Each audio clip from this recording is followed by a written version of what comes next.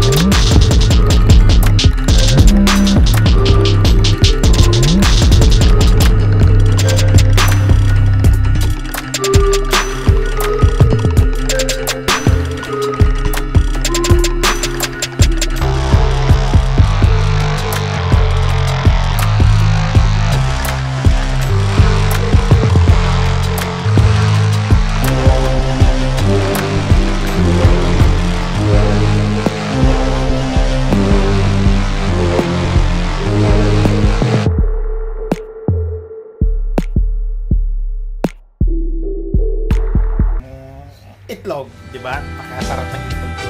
Okay. Thank you. Next time, turuan ko paano mag-build ng mga ibang Okay, bye-bye. Bye-bye, bye-bye.